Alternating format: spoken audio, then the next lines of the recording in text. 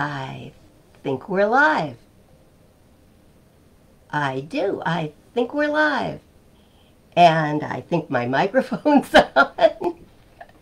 and I think all kinds of interesting things are happening. Good Sunday morning to you for the next couple of seconds. And then it'll be good Sunday afternoon to you. How are you all today? I hope everybody's well and staying safe and uh, and finding the good and being the best and treating life with love. I hope you're doing all of that.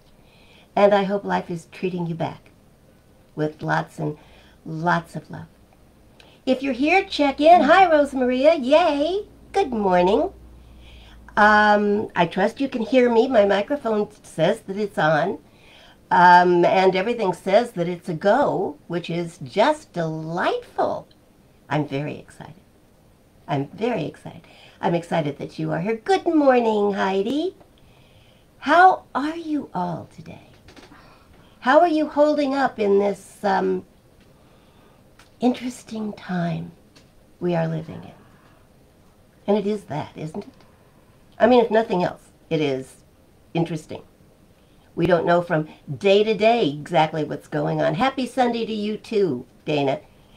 The uh, first few people to sign in show up on my board, and then it just kind of freezes. So, you know, if you if you come in and I don't say good morning to you, it's because I don't know you're here yet.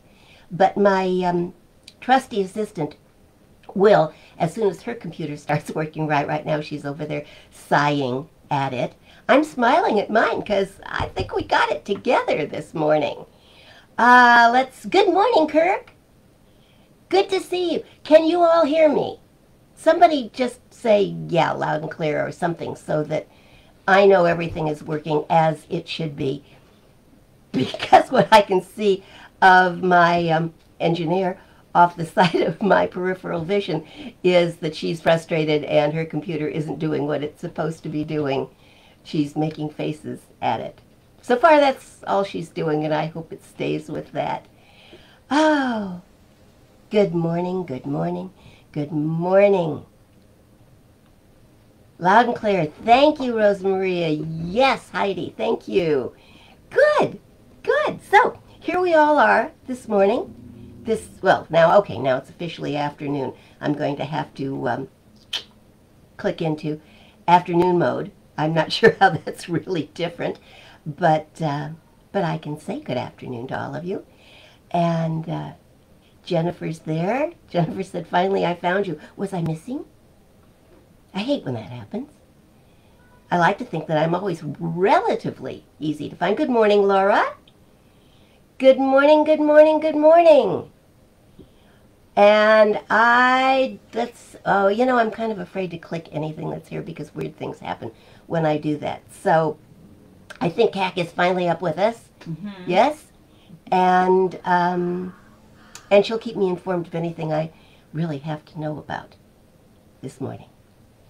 Now, if this was a normal church service in this spot, um, I would probably do a little opening meditation, and then there would be some music. I will not sing for you, and those of you who've known me for any length of time know the reason for that. I talk good. I don't sing so hot. Um, except, you know, maybe happy birthday, but I've had a lot of practice doing that lately. Um, but let's take a minute while people are joining us and, and do a little just welcoming, let's get centered meditation together, shall we? Shall we? I like that. So let's take just a moment um, and be here now. Thank you, Ram Dass, for that. Be here in this space that we have created. Be in this spiritual community to together. Be here, wherever that is for you right now. Be here now together. Together with our inner wisdom, together with each other, together with the spirit of creation. where two or more are gathered, that spirit is amped up. It is multiplied. It is not just present, it is holy, present. And so we recognize that within each of us, within our environment this morning, wherever we may be. We know that right there, right here, God is, and all is well. And we simply let that be so. And so it is. Let's see. Oh, I am really... Maybe if I just play with this little bar, I can see a few more people. Yeah. I like that. So, how's it going?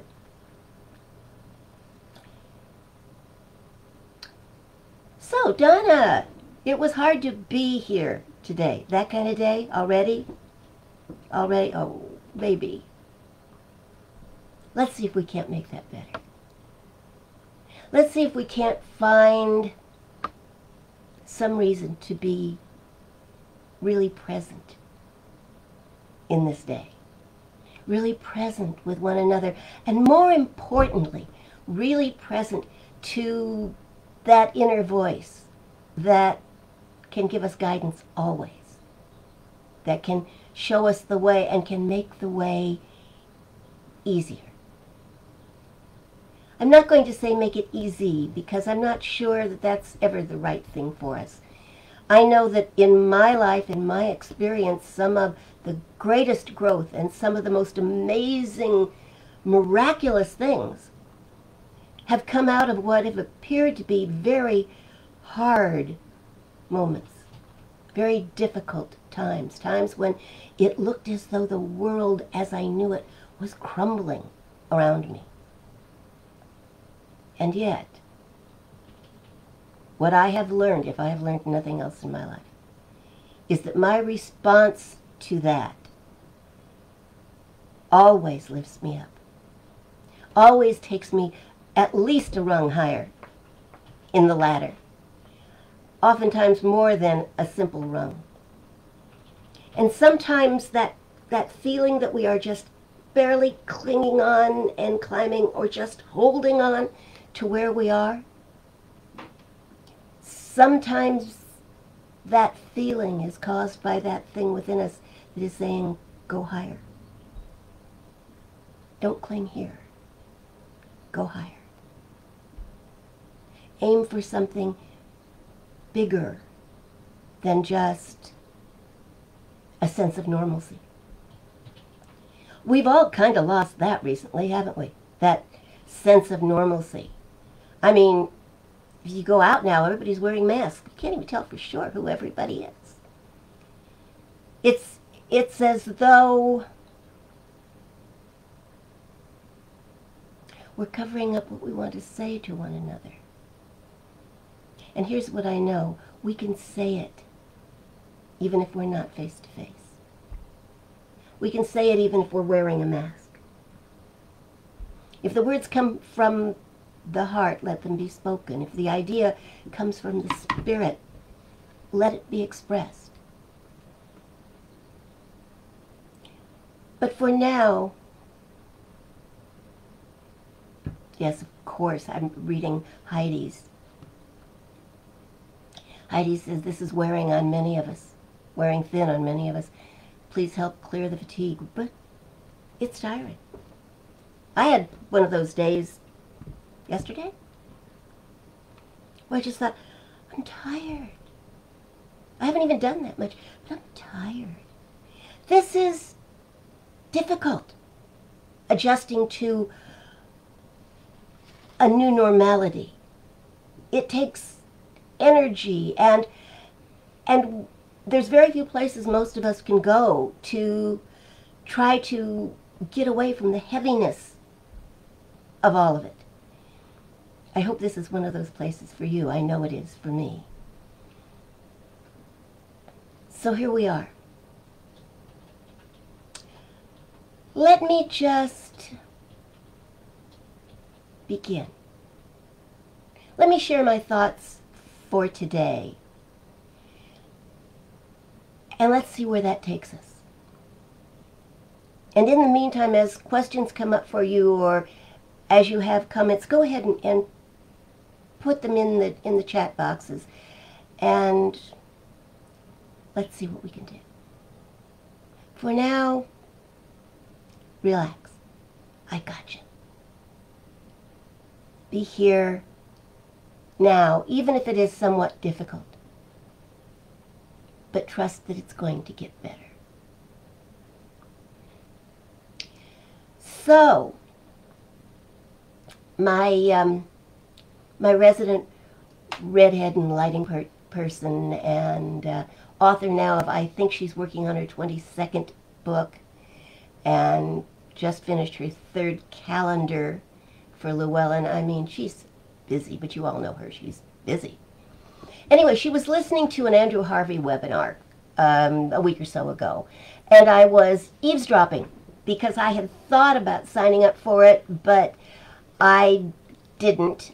And um, but he caught me on a couple of things, and he covered a lot of great material. So I continued to eavesdrop, and finally realized that um, I was taking notes, and I probably owe him something for all of that.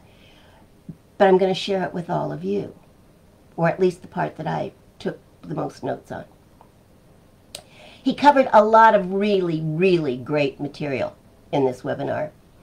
Uh, but he presented four key areas to facilitate enlightenment in this endarkened time. The first thing he talked about was calming and clearing.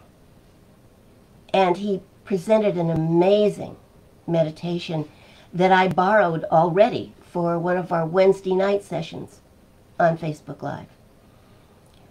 It, it was so soothing and calming, and people were saying it brought them to tears, but good tears, tears of, of release. And I think that's the best reason to cry of all. The second practice that, um, that he talked about was reciting the name of God which he called the single most valuable tool of creation. I love that. I particularly liked it because I think it was the um, just days after I had talked about what is your name for God and the fact that whatever name we use, if it is personal to us, if it takes us to that place of the awareness of the presence within, then it is the name of God for you to use, at least for now. The third thing he talked about was a Sufi tradition, which he called the most powerful prayer of protection. And I will likely borrow that idea fairly soon as well, because it is indeed powerful. But I've been holding back on the fourth thing he talked about until now. Because my heart just told me that this is the perfect time to talk about it. We have all been talking so much about the coronavirus. And two, nearly two months now into quarantines and lockdowns and lockouts, we still don't know as much as we would like to know. We still have so many unanswered questions. Where did this all come from? Why now? Is it a conspiracy? Are they doing enough? Am I doing enough? How safe am I, really? How safe is my family? What are today's numbers? Is this a symptom of something else? Is this thing that I'm feeling a symptom? Should I get tested? What if I get it? What if I can't pay my bills? Will I survive it? And what about my family? And what about my future? So many questions, so many. Harvey strongly suggested that there are other more important questions, honestly, that we could be asking ourselves that might, in fact, not just be more important, but maybe more productive. Not so much, will I survive? Because, my words, if we don't, there isn't much we can do about that. But if we do, then there are some really important questions to ask. Starting with, what am I living for? Why, with the numbers climbing every day, why am I still here? Now, if you've been listening to me for any length of time at all, you know that I have always contended that if you are still here, God just isn't done with you yet. That regardless of your age, you still have important work to do on the planet. So the first question is, what am I living for? What am I being called to do? Am I doing it? Am I not doing it? Do I even know what it is? See, I'm not saying that those who have died because of this virus did not have important work to do. Please do not hear that. We know that many of them were already doing very important work. Many who have the virus are still continuing to do very important work. A lot of that towards saving our lives. I'm not talking about them. What I am saying is that if you are still here, and if you can hear me, you clearly are still here. If you are still here, then what are you living for? What are you being called to do while you are still breathing? Harvey suggested that the second question may help you get some clarity it comes from the recognition that if we really want the truest answers, the honest answer to the first question about what we are living for, many of us will have to go deeper than we have ever gone, deeper within to discover what we are living for. And we will have to come at that point, face to face, with the presence of creation within us not just the whisper of what we might be, what we have hoped to be, but the very source of the still small voice, the essence of who we truly are and might yet be.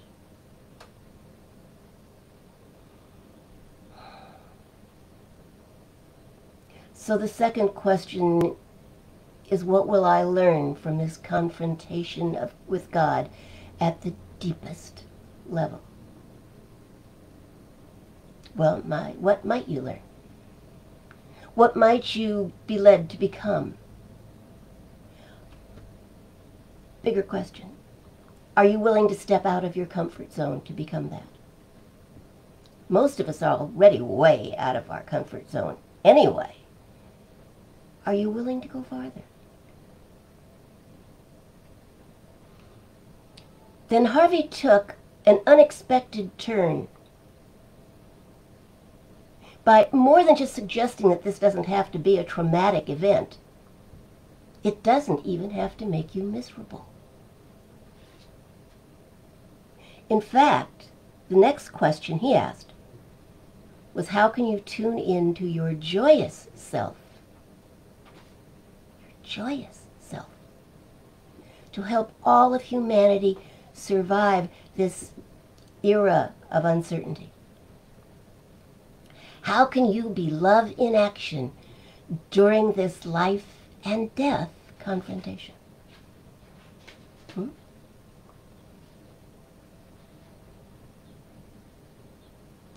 He suggests three practices to get us there, wherever there may be for you.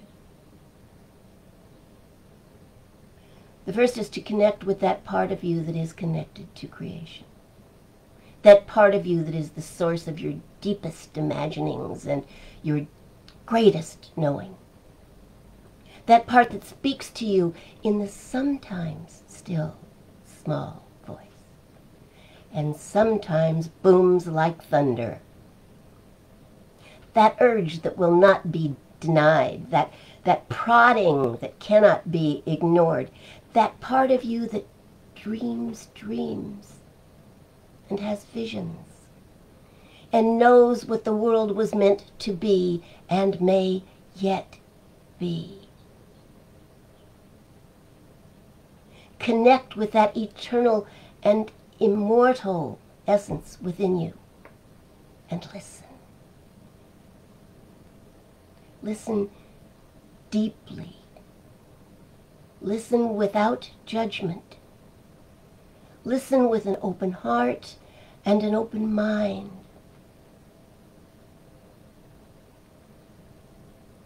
Listen and heed what the voice is saying.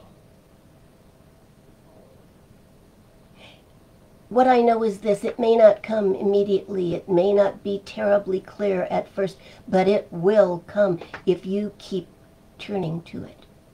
It will come, and it will answer, and you will know.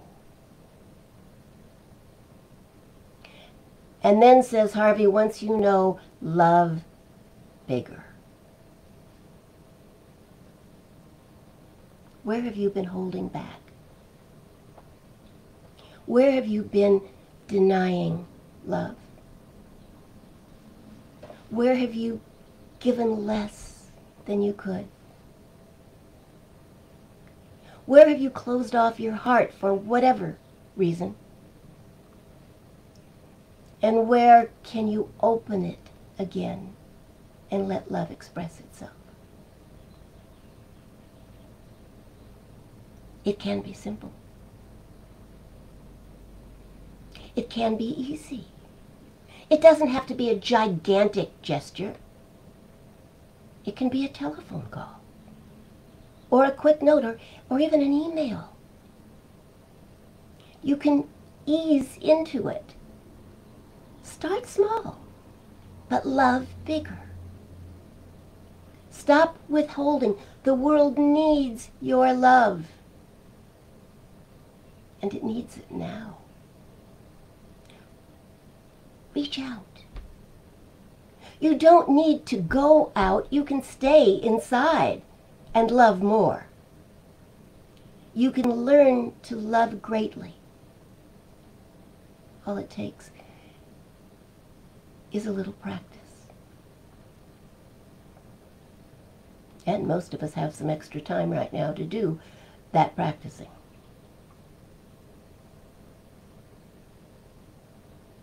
Harvey says, ask yourself how you can be love in action. Ask yourself, what is the most effective way for me to express my love during this time? What I know is that if you are busy expressing your love, you don't have time to worry. You don't have time to get all tied in a knot. You'll be much too busy loving. Ask yourself, how can I reach out of my spiritual comfort zone and share my love with the world? Again, go within. The answers are there. Just waiting for you to ask the questions. That is, I think, the real meaning of knock and the door will be open to seek and you will find. There's not a physical door hidden somewhere on the planet that we are meant to find, waiting for the lucky few who come across it. There is only the door to your own inner sanctum, your own holy of holies. And then Harvey tells us to care deeper. How we do that will be different for each of us. How we respond to the call to care will ultimately be determined by our ability and, and our willingness to be spiritual activists. Our willingness to take action and actually take steps to respond to the call. I believe that to care without taking action is sympathizing, but it's not caring. To care requires that you do something. It means putting yourself in the game. It means getting up out of your sadness and your frustration and taking action. Write letters to your congresspersons. God knows we've got plenty to say to them. And it's far more effective to say it that way than it is to yell at the television. Help out at a food bank. You can wear a mask and gloves. Volunteer at church. Even an online church, I'm sure, can find a way to use your help. Donate what you can. Grow a victory garden and expect victory. I don't care what you do. God doesn't care what you do. You care what you do. So do something about what you care about. But do something, or the caring without taking action will weaken you. Open your heart. Open your mind. Ideas will pour out. Do not be afraid to care. Be willing to be transformed. Be willing to turn the fear and the pain and the uncertainty into a kind of transformative alchemy. Painful events, uncertain times can yet bring out the best in all of us, can transform the darkest human emotions into an incredible lightness of being. But we have to take action.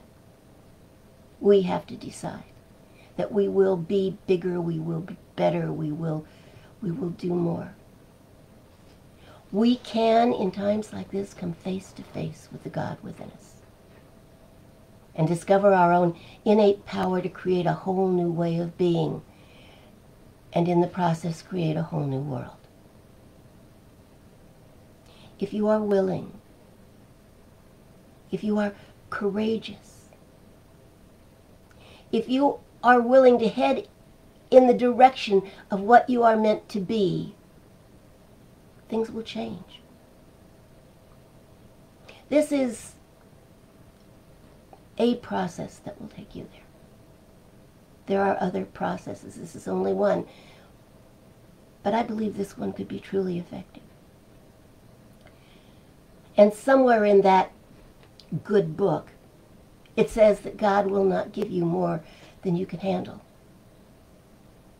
So when you say yes to that still small voice, to that urging, to that desire, when you walk through that first door, it may not be a hum- humongous change. It may just be a slight variation from who you were before, who you are now. But look around. Because what I know is that somewhere in that slightly new reality, there's another door, another place to knock,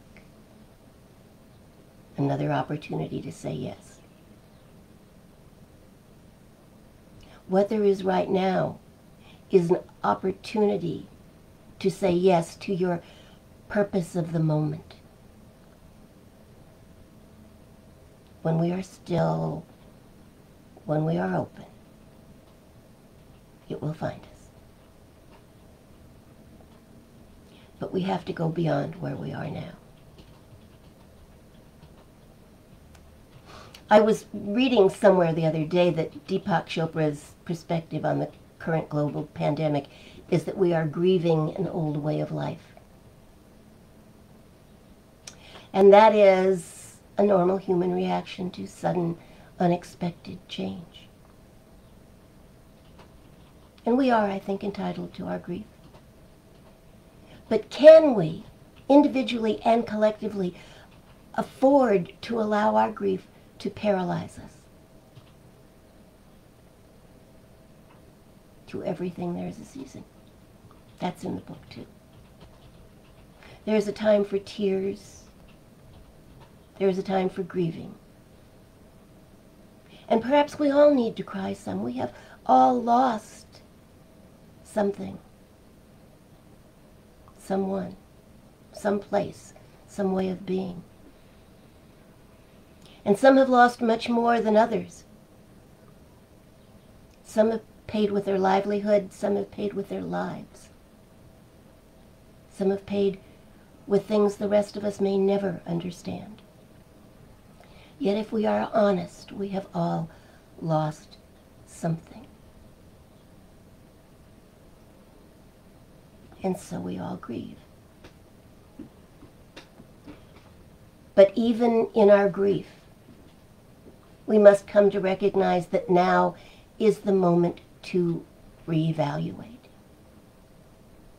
To reevaluate our lives, our habits, our existence, and ask ourselves, what is it we want to live with in the future? Change is upon us. I don't believe that our world will ever be quite the same, and I think some of that is very good news. How we accept and handle that will write our future. And our future may well depend on what we decide we are living for. So I ask you again, what are you living for? What is important to you? What do you value? And what price are you willing to pay for that?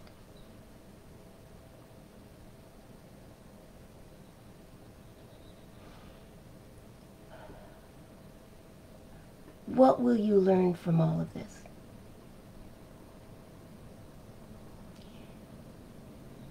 If you learn nothing, then I pray for you. For there is much to be learned. And if you learn much, then I pray that you will accomplish what you realize is yours to do. Connect with your higher self.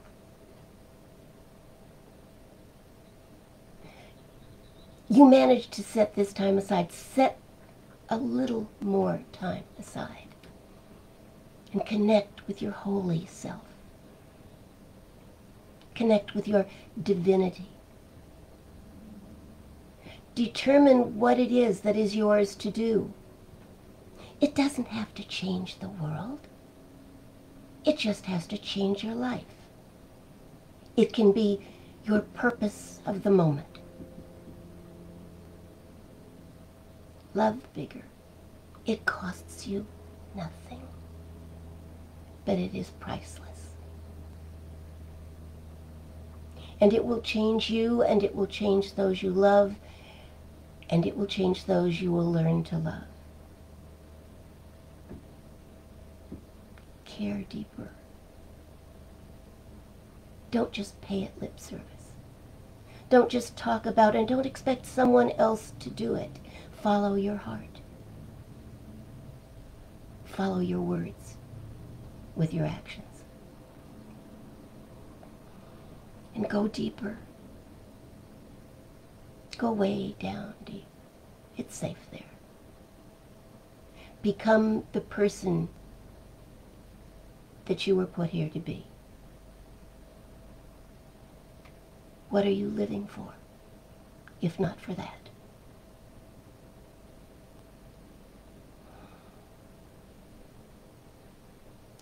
These are the times that try human souls.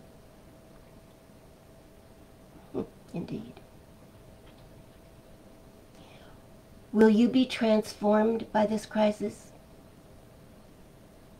Will you rise up and become God's dream of you? Why not? What do you have to do that is more important? What else are you living for?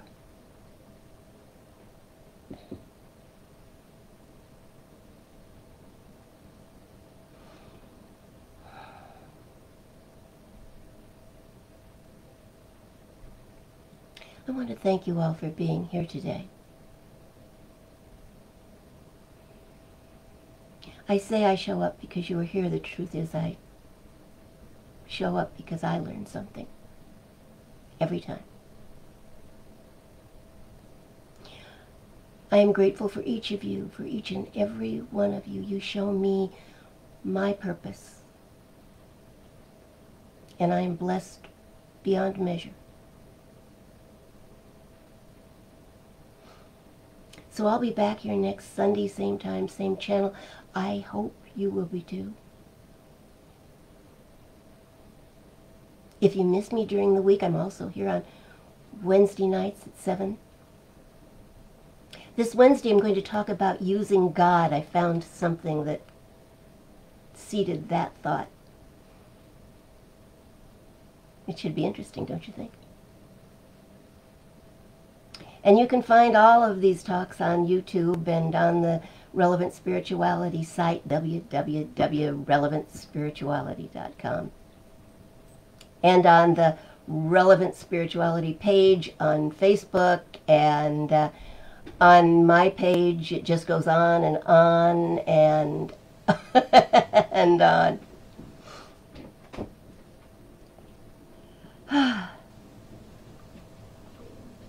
So here we are. I hope your day is better because you've been here. I hope you feel a little lighter.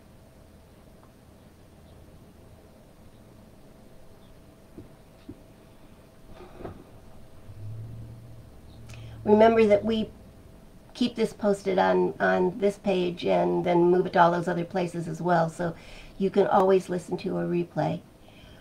I want to thank those of you who, and, and the number seems to keep growing, so thank you, thank you, thank you, um, who share the videos and put it on your timeline or share it to other people's. Invite them to come. You know, you can, you can't force them, but if they're ready, they'll hear something, and they'll come. And you will have changed their lives.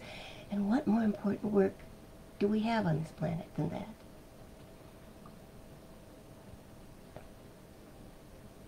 that? Jennifer says she's sharing this in a watch party. Jennifer, thank you. And and hello everybody that's there. Thank you. Thank you for inviting people. It makes such. It makes such a difference. Hi Betty. Hi Steve. My goodness, the gang's all here this morning. Peggy and Ellen are there. Ah, there's Peggy. Will you repeat this? Oh gosh, what would you like me to repeat, Peggy? Um, the talk will be posted, so yes, you can absolutely hear it all all over again, literally moments after after we close. It, it'll all be right there for you and anybody else that wants it. And then I move it immediately over to the Relevant Spirituality page on Facebook, and then it takes me just a little bit longer to get it to the Relevant Spirituality webpage and to YouTube because that involves some techie stuff that I'm kind of slow at. But I'm getting it. I'm getting it. As of the start of this talk, every other talk was up there. And on the Relevant Spirituality site, there are even some older talks. So feel free. If you miss me, I'm all over the place and happy to be there it's certainly my purpose of the moment, and, and you show me that. And you prove that to me, and I'm so very grateful. Dana says when she thinks that she has a balance between the stuff that people are talking about that she knows and respects, and then she begins to doubt her own inner voice. She can see both sides, so it's challenging. Listen to your own still small voice. And sometimes it's not as terribly different than what other people are saying. Um, sometimes it's a variation on the theme. I basically became a minister because I sat in a sanctuary listening to a minister that I loved, that had changed my life. And my still small voice said I wouldn't say that that way. And I challenged it and said, Well, what would you say? And it said something that rang truer for me. Listen to your own still small voice. Make sure it's not somebody else's voice. Make sure it's not one of those members of that committee that's in there to test you, and I really do think that's what it does. Because it wants to keep the status quo. You know that talk very well, I'm sure you do. Um, you know, we have a swamp keeper that likes to keep the swamp. He's an old guy. Kind of reminds me of the guy at the door of, of the Emerald City in The Wizard of Oz. Not coming in. Not no how, not no way. Not that new thought. That's going to screw things up in here. That's not the still small voice. Go deeper. But when you know you've heard it, and you will know when you've heard it, it doesn't sound like anybody else except maybe you. When you've heard it, then follow that. And ask yourself if it's. See, what I believe is normally true is that the still small voice doesn't ask us to do anything that's going to screw our lives up. Change it, perhaps, yes. But not screwed up. It will only make it better. It's the God voice within us calling us to be what we are here to be. What greater call is there than that? You know, there's, um, most of you know if you've been listening that, uh, that I have, have been reading tarot cards. And, and I love them, and there's a judgment card, and it's really probably my favorite card. I get excited every time I see it.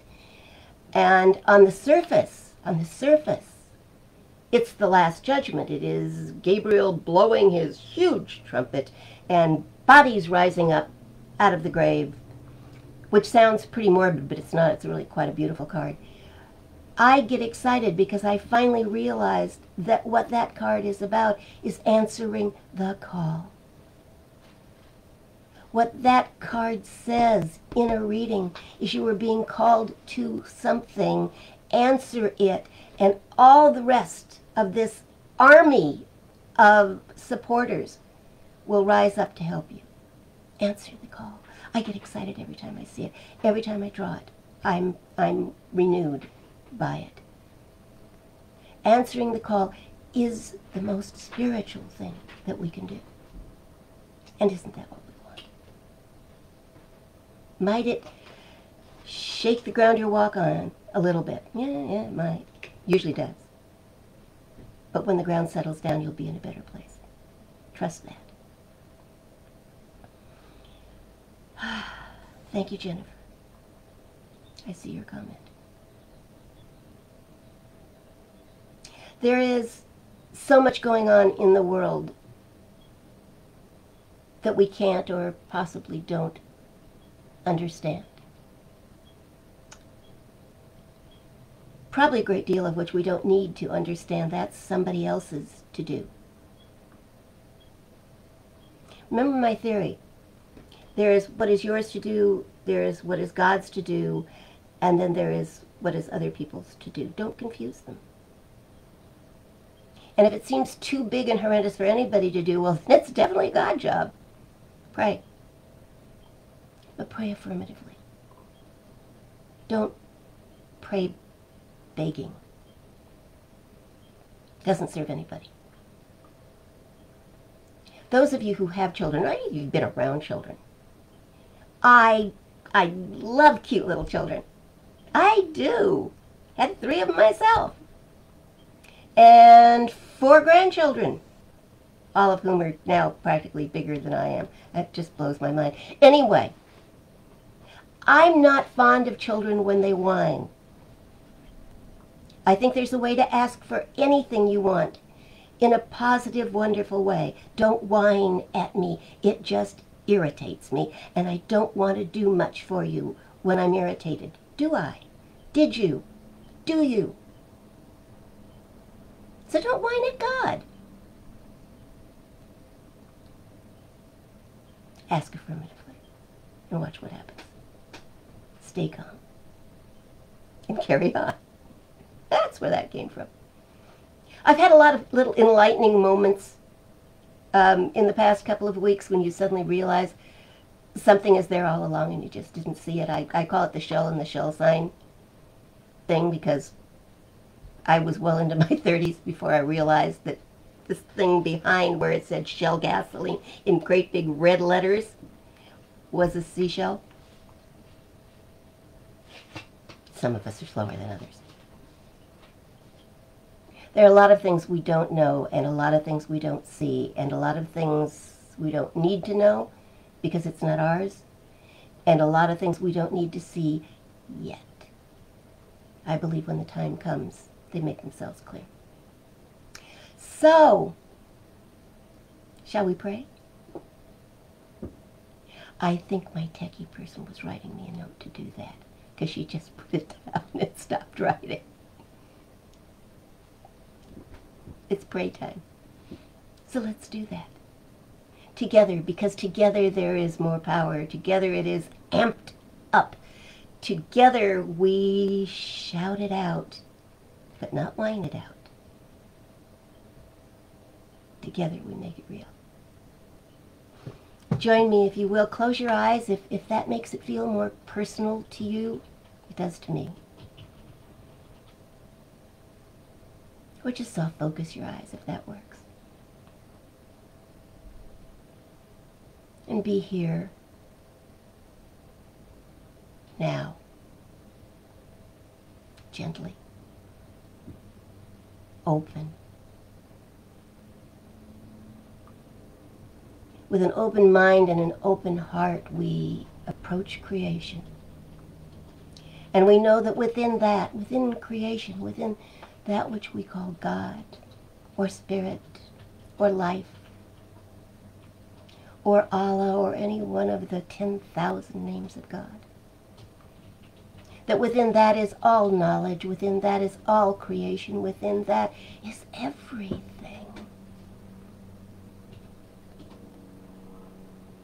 And so each of us now, in our own way, calls to that. calls forth from that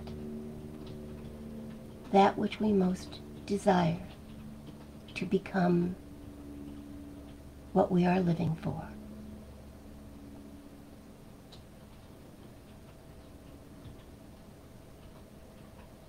If it is health, let us call that forth.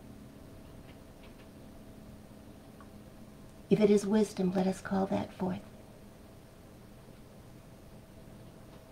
If it is joy, let us call that forth.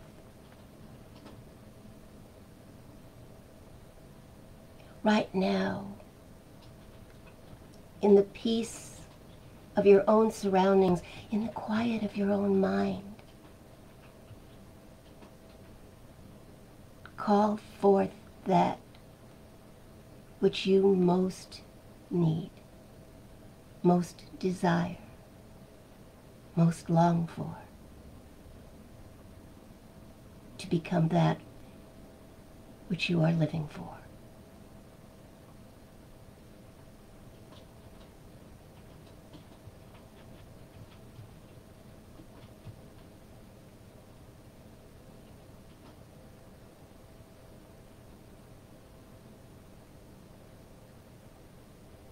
And now expect that.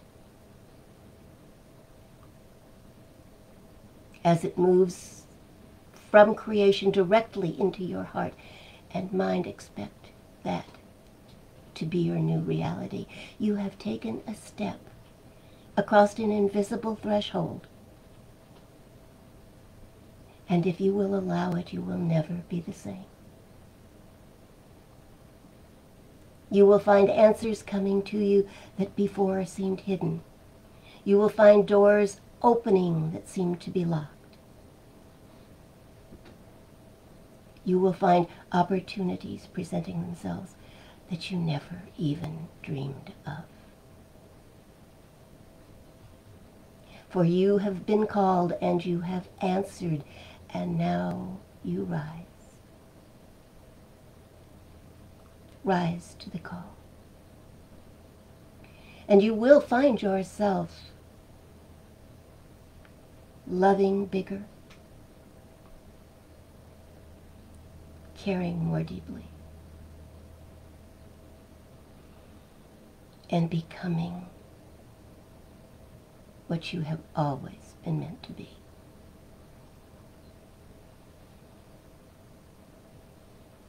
My heart is filled with gratitude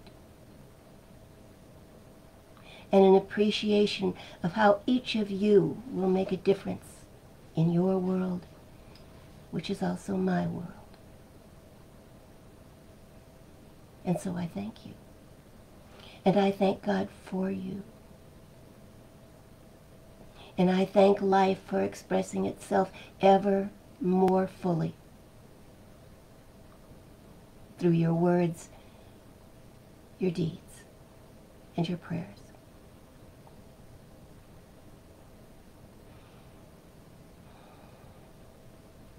There are no words big enough. So I simply say thank you. And let it be so. And so it is.